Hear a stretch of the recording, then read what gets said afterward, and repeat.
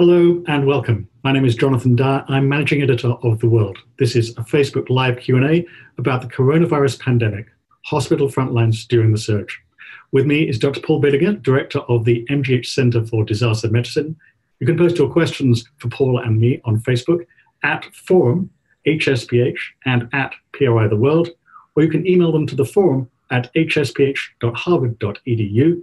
This Q&A is jointly presented by the Forum and the Harvard T.H. Chan School of Public Health and the World from PRX and WGBH. And we're doing this on Zoom through Facebook. Uh, Paul, as COVID 19 fatalities surge here in Massachusetts and elsewhere, what's it like on the front lines in the hospitals? It's uh, really unlike anything I have ever imagined in healthcare. Um, I think uh, we are extraordinarily busy uh, in certain areas of the hospital and extraordinarily quiet in others. Uh, most notably, of course, uh, are the intensive care units. Um, my hospital has 170 uh, patients with uh, COVID with critical illness, more than 400 patients with COVID overall. And although my hospital is a large hospital, we have a thousand beds that puts it in the larger tier of American hospitals. Um, having 150 ICU beds at baseline um, having more than 170 just with COVID presents an enormous challenge. Uh, so, so really, that part is is extraordinarily, I would say, uh, busy but focused. Uh, and then, given all of the other normal care we deliver that has been deferred in many other parts of the hospital, it's actually quite quiet. And besides the beds, what kind of staffing challenges does that pose?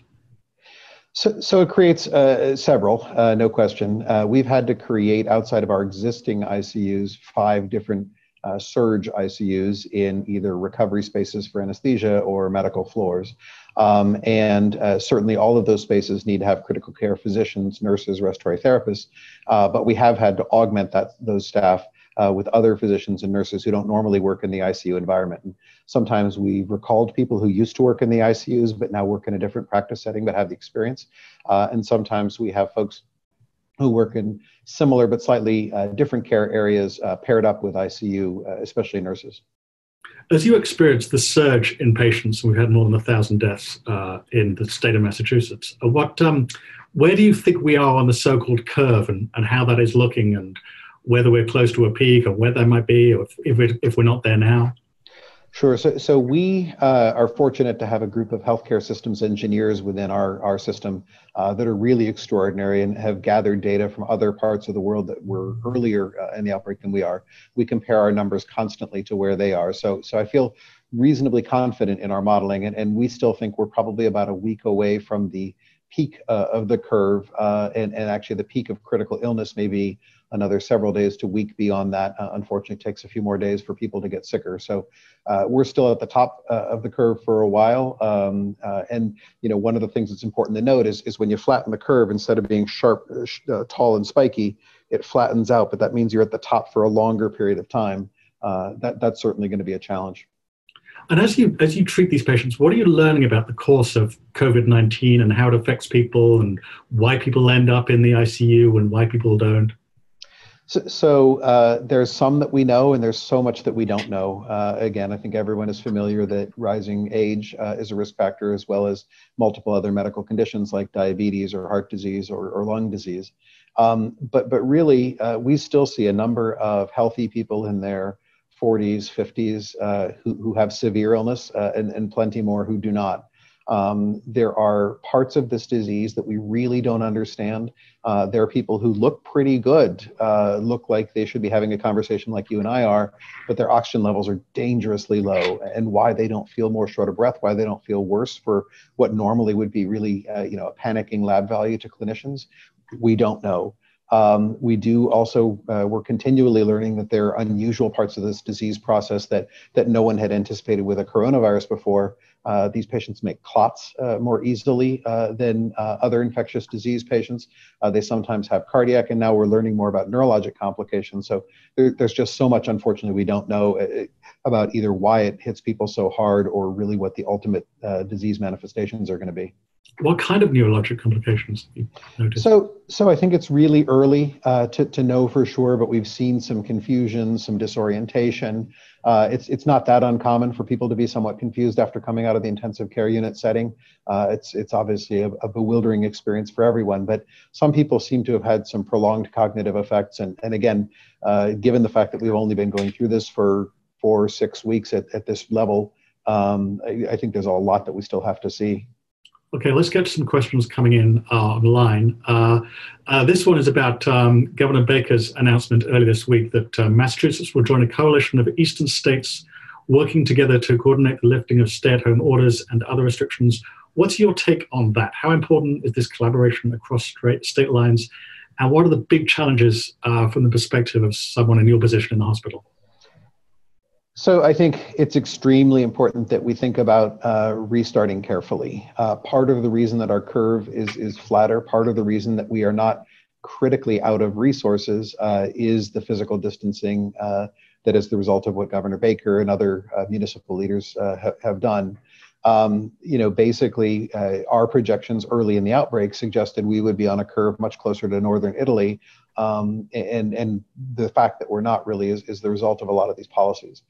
Therefore, letting up on them too early could really be damaging, uh, could really risk a lot of health uh, for people uh, in, across the whole region. Certainly here in New England uh, and even in the Northeast, our states are relatively smaller, and so a little inconsistency among places that are only 50, 100 miles apart uh, could could threaten to undermine uh, the effectiveness of the system. So it's really important that we act in concert. It's also really important that we try and follow the same uh, advice. Uh, no one has ever, of course, tried to reopen society uh, before because we've never had to react like this before. Um, but but trying to make sure we know when we can safely restart, excuse me, other parts of healthcare, when we can restart other parts of society is really important. And do you have any sense of? You said it, we don't want to do it too early do you know when it's too early? Do you have any sense of where we should be on the curve before we can begin to think about that? Yeah, I mean, I think there are parts of too early that are quite easy to define. I, I think we have to really know that we're solidly in uh, the improving phase. That means at least two weeks uh, worth of decreasing numbers of cases, just to make sure that we we don't get lulled into a, a false sense of security by a couple of days worth of a blip of data. Uh, secondly, I think we have to really know we can deliver healthcare. Uh, right now, we're doing extraordinary things uh, to deliver the care to the patients who need it. Um, but these things are not going to be infinitely sustainable uh, in the long term. So we have to know that, that as we get closer to normal healthcare, and I use that those words extremely carefully, um, we have to know that we can deliver care to everyone who needs it, both with COVID and not with non-COVID for, for emergency illness. Um, then we have to know that our supply chains uh, are good. We have to know that we can provide personal protective equipment, we can provide medications uh, to our staff, to our patients. Uh, those things are really important. And lastly, I think we have to really feel confident uh, about where we are with testing, uh, that, that we know better than we do right now what's the burden of disease in our communities, uh, who is becoming immune, who is not, um, so that we can, with some degree of certainty, model what, what might happen next. Uh, when you say testing, are we? is it? Are you just really focusing on testing as to knowing who has the disease, or are you also thinking of antibody testing, knowing people who might not know that they had it but might have some level of immunity? absolutely, I, I, really all of it. I, I think we, one of the challenges is exactly what you point out that um, we're all using testing, but we mean something slightly different. Uh, if we mean viral detection, which is does someone actively have an infection, we need to continue to do that, no question. We need to make sure we know who is infected uh, and, and, we can identify everyone who's infected. Uh, but uh, we absolutely need what, what a lot of us are, you know, use the term serology testing to mean, which is antibody testing. Uh, there are two kinds of antibodies, a, a short-term and a long-term antibody. Um, we have to we have to start being able to do that testing, and then ultimately, actually, there's a third variable that's extremely important, which is to hopefully correlate the antibody testing with immunity. Uh, that right now, just because we pick up antibodies in the bloodstream does not effectively mean uh, that we know someone is immune. Uh, and we have to study that to know uh, what this, this testing means in terms of people's health. Right, we've had a few questions coming in about uh, the, the staffing of, of, of hospitals and uh, the kind of equipment that they have uh, uh, this question comes in from Greg. He says, My wife is a nurse in a New Jersey nursing home. With the current infection rate in my state exploding daily, especially in nursing homes, and knowing that the staffs in these facilities are not utilizing full PPE and being provided with only one face mask a day, What are the chances of her being infected, and what can she do to realistically protect herself from infection? Yeah, you know, my heart goes out to, to Greg and his wife and, and to everyone who's who's on the front lines. I think clearly uh, everyone is aware of the challenges of, of, available personal protective equipment in so many different healthcare settings. Um, for uh, masks and, and, respirators that uh, are not involved in aerosol generating procedures, uh, the CDC guidance does permit extended use uh, up to a, a day uh, in, in the, for the course of a shift. I think obviously it's extremely important to follow the uh, the basic rules that uh, that we all know now, which is don't touch the front of the mask. Make sure obviously keep your hands away. Use hand hygiene. So in other words, wash your hands. Use hand sanitizer before you ever get up and, and touch around your mask.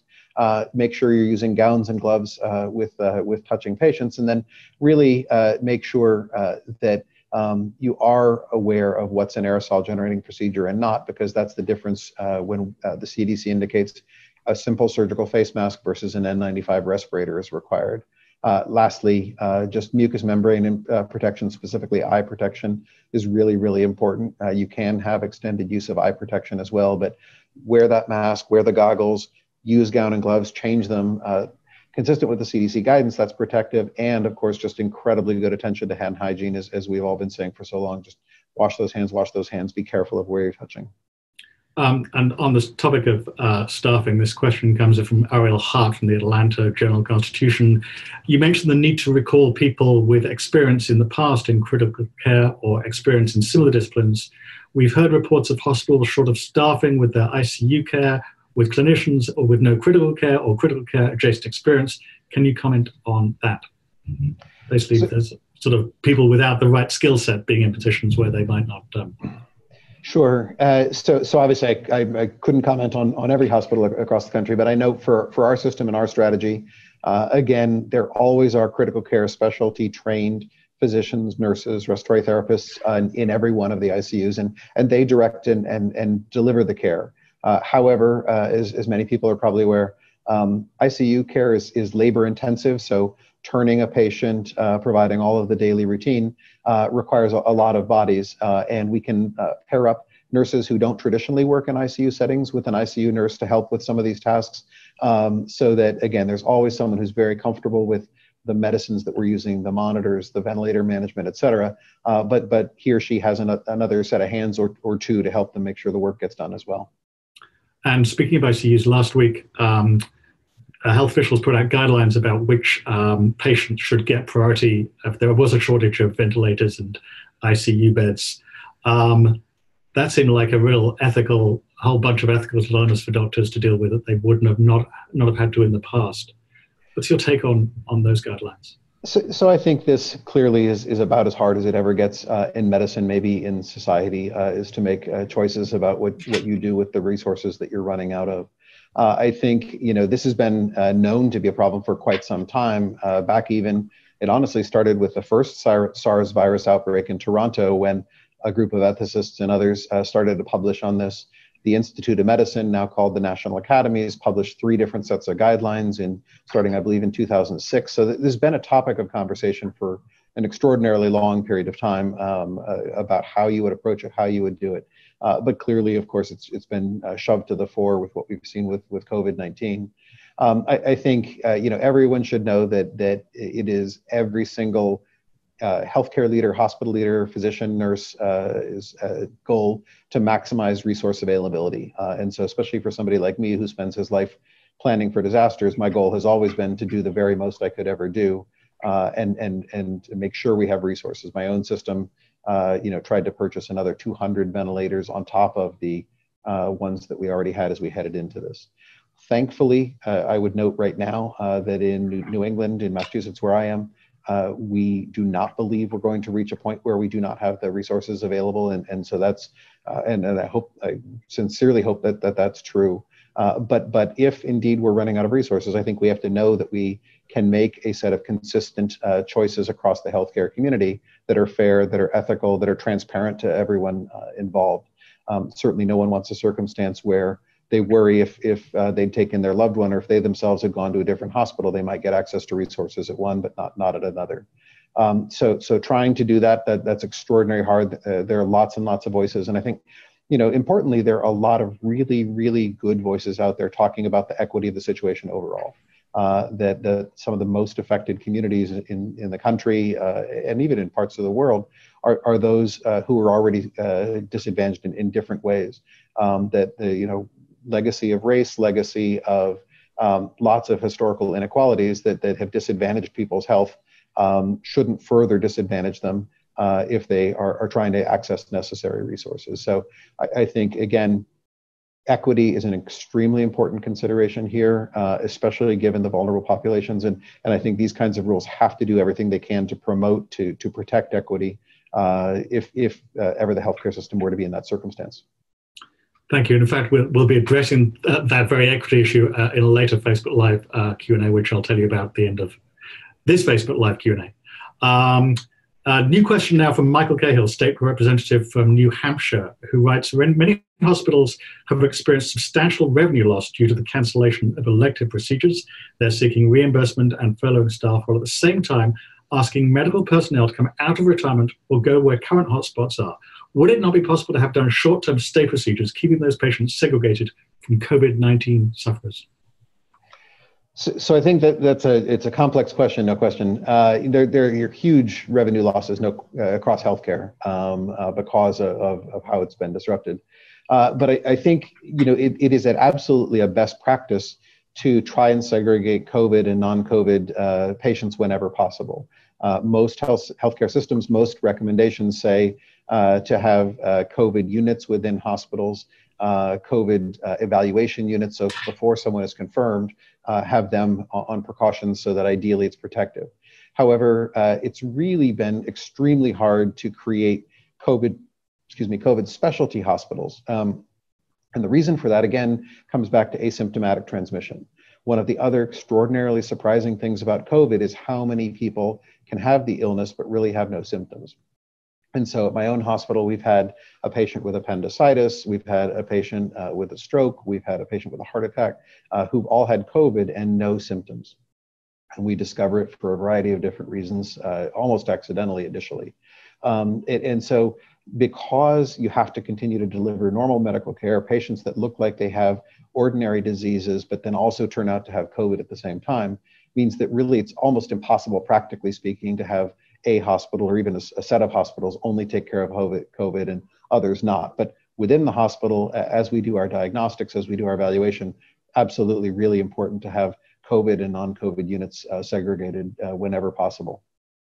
That makes sense. Um, we'll try to get through, through, as many questions as we can, uh, but we still have an opportunity for you ask a question uh, on Facebook for anyone uh, watching here on Facebook is the best, pay, best place to pose a question uh, to Paul. Uh, let's get to another question now.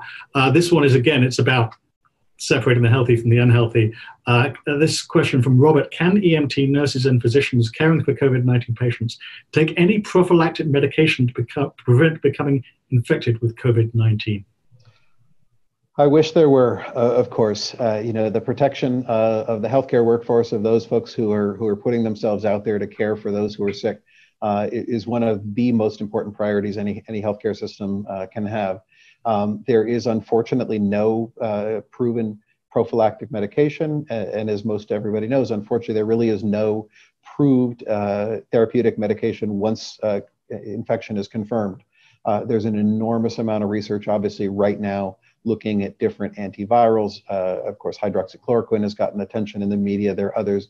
Uh, but until we have data saying uh, that there is either an, an effective prophylactic or treatment, uh, we are stuck with what we call supportive care, which I, I don't mean to minimize. This is extraordinarily high tech intensive care unit care, um, but it means that we don't have an effective direct attack on the virus itself. We, we hear so many really heart wrenching stories of people uh, dropping off loved ones at the hospital and never seeing them again, never holding their hand as they pass away. Uh, this question comes from online. Are hospitals considering hospice in the ER for elderly patients? Are there options for families other than dropping their elderly, uh, elderly relative at the ER and possibly never seeing them again? So, so there are uh, hospitals that have pursued uh, hospice uh, and palliative care uh, services in the emergency department. Uh, my own uh, hospital makes palliative care services in the emergency department available. Uh, and, and for exactly that reason, that we want to really make sure we're paying attention to the, to the patient's wishes, family wishes, uh, and, and, that we're able to uh, provide these moments together uh, wherever possible, if, if in fact that's, that's what the patient's condition indicates. Um, you know, it, it is absolutely heart wrenching that on top of the loss comes the loss of the ability to be together at that time. So we're certainly trying to do what we can it, it isn't a substitute uh, for physical contact, of course, but iPads, video connections, anything we can do to bring people together, we, we are trying to do. Uh, and, and, then again, for uh, end of life situations, we do permit uh, a family, mem- family member to come in uh, with the palliative care support, with the hospice support. We've had people online asking about this uh, new study out of the University of Washington, I think, uh, that projected uh, much higher numbers uh, in Massachusetts uh, that have been projected locally. Um, and there's some dispute about whether, because it's it, they're basing it on the fact that Massachusetts is not putting in a sort of compulsory stay-at-home order; it's, it's making a sort of a recommendation. What's your take on that particular study and the numbers it's putting in? Yeah, so so the, the numbers I have access to aren't for the whole state. They're only for my healthcare system, which has uh, about eight acute care hospitals uh, around the state in it. Um, but uh, you know, when we started our modeling early, I think, as I said uh, a bit ago, uh, we looked uh, like all of our hospitals looked like we were on a curve with northern Italy, which would really max out everything we could possibly do for ICU capacity, floor capacity, emergency department, et cetera. Um, and within about one to two weeks following the stay at home order by our governor, by our municipal leaders, um, we, we started to see us moving off of that curve. And we've, we've now moved dramatically off of that curve really uh, at a projected peak uh, of potentially less than half of where we thought we were. Uh, so, so I think we, we've absolutely, in the data, as I interpret our data, we, we've made huge amounts of progress uh, in, in getting off that worst case scenario um, and in staving off that, that very tall, narrow peak that we were so afraid of. Um, I, I can't speak to you know what, what could have happened otherwise. But but I know you know looking at that at that study uh, that that said that things really are, are, are worse than we had previously projected. That's that's not at least consistent with the data I have within my healthcare system.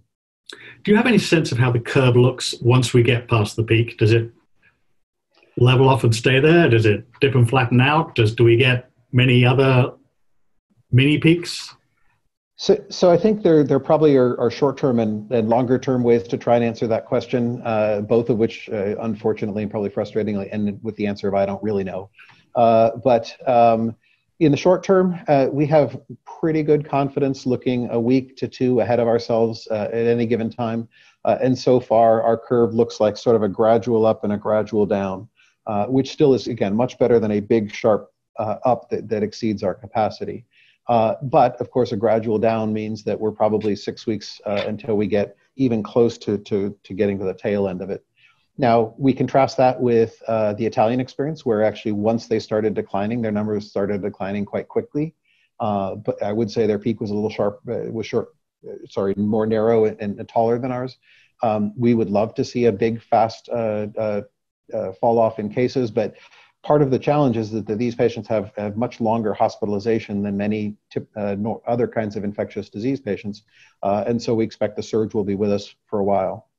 On, that longer term answer, uh, uh that's, that's even harder. I think it, it's almost inevitable there will be other waves, uh, but how tall they are uh, and how disruptive they are is, is impossible to know, especially until we get better data about really uh, how many people have been infected already across our communities and how many are, are potentially immune. So when you speak about the sort of the broader peak potentially being with us for a while, how long are you thinking? I, I mean, I think uh, certainly through uh, the end of May is, is what it's going to take for my healthcare system to start getting back down uh, to kind of earlier March numbers. Uh, what that means in terms of when we can actually resume more of our clinical activities that we were doing, uh, you know, during February that, that's even harder to predict uh, because again we just we have to know for certain that our healthcare environment remains a safe place to deliver care. Um, we've on on that topic we've got uh, this question that's come in. I've heard that some people are afraid to go to the er now for things like injuries and chest pain. They're worried about catching the virus that causes covid-19 using that at mgh and what would you say to people who are worried about visiting the er so we've certainly seen a drop off in our emergency department volume. I think almost every emergency department has. Um, I, I, I, really would hate to think uh, that someone staves off a life saving emergency department visit because they're worried about getting COVID. Um, here in our hospital, in many hospitals, all of our staff are masked, uh, all of our patients are masked.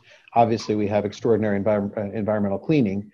Uh, and, and we are looking for any chance that there's a lot of, or almost really any, uh, healthcare associated infection of COVID. Uh, and we're not seeing that signal in our data. So, uh, you know, hospitals are safe places to be. And, and, and if you think you have a life threatening condition, you stood, should absolutely seek medical care. Um, the, the alternative could be much, much worse. Um, this question is coming from Facebook. Is anyone doing a research project about the transmission of the coronavirus within hospitals by repeatedly doing point of care COVID 19 tests to understand the transmission, the transmission among hospital workers and patients? So, so, so people are absolutely studying. We look at our healthcare worker infection data extremely closely uh, to try and make sure that, that there aren't signals that suggest one area is particularly at risk or one role group or, or one procedure and anything that we can identify. And we, we do the exact same thing for our patients. Uh, if ever uh, someone develops COVID symptoms or is, is diagnosed with COVID after their hospitalization initially, uh, we go through the record very, very closely to see if they came in with it, if they developed it in hospital, and, and drill down on every single one of those. Uh, so, so Again, there are no signals in our data yet uh, that, that would suggest that uh, there is significant in hospital COVID transmission or significant transmission to our healthcare workers, but we're, we're, looking at it extremely closely. What I would say also is that um, we have um, really seen a drop off in all infections uh, with masking. So, first, when we put masks on our healthcare workers, huge change, and, and more recently, as we put patient uh, masks on our patients, huge change. So, you know, these are consistent with other people's data as well, but, but really re, uh, reassuring. I sense that we're going to be wearing masks for a, a long time to come. Um, how you mentioned te- we've been speaking about testing a bit. How available are tests? Are there people who want to be tested who are not getting it? Are people are only people with severe symptoms being tested? What, what's the current protocol around testing people? So, so there are still limitations on testing, uh, and and they come from various sources. Uh, sometimes it's the swabs, literally the a little piece of, uh, of, of uh, plastic and, and uh, vinyl that lets us swab for the swab for the virus. Sometimes it's the testing centers uh, the, or the lab availability. Sometimes it's the number of people. Sometimes it's actually the number of personal protective equipment devices available.